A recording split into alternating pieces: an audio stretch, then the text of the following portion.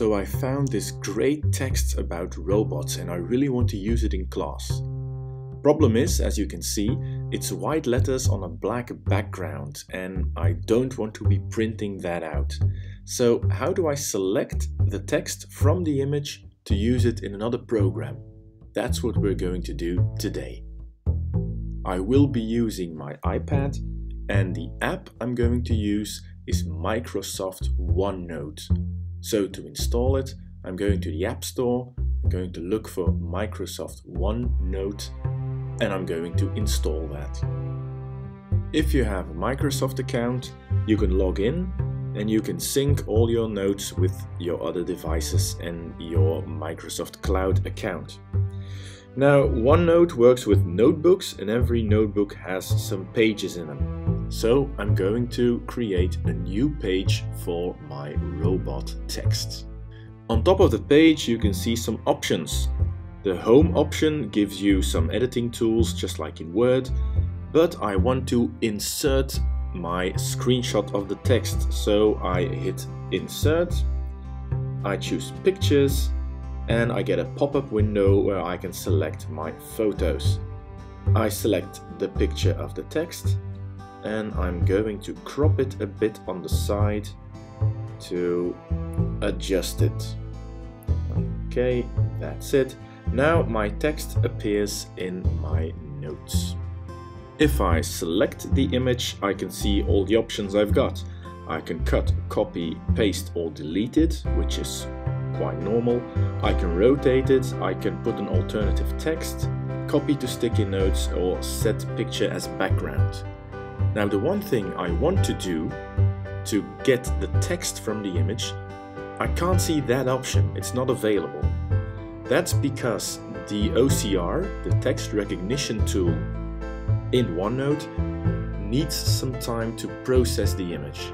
So I'm going to close OneNote for now and revisit it in a couple of hours. Right, so now we're a few hours later I'm reopening OneNote, selecting the image, and there's a new option that says copy text. Choose the option, I place the cursor below the image and I paste the text. Now you can see it's not perfect. Um, the first line, the title, which had a really strange font, was not recognized. But now I can start editing and making corrections throughout the text, which is a lot easier than retyping the entire text. Now, one thing I haven't mentioned is this is kind of a workaround, since because I'm on iPad, there's a much easier way to get the text into written text.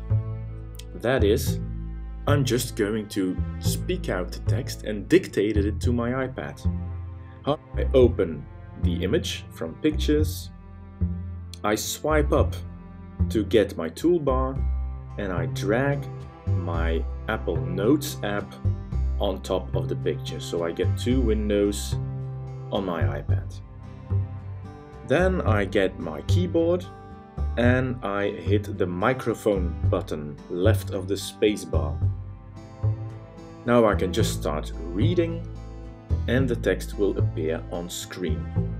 Let's see how it goes. Humans are strange creatures. We sleepwalk, pick our noses, and name our cars. Of all our eccentric tendencies, our attachment to things, blankets, stuffed animals, toys, vehicles, smartphones, and so on, you can see that the iPad is really capable of translating spoken text to written text.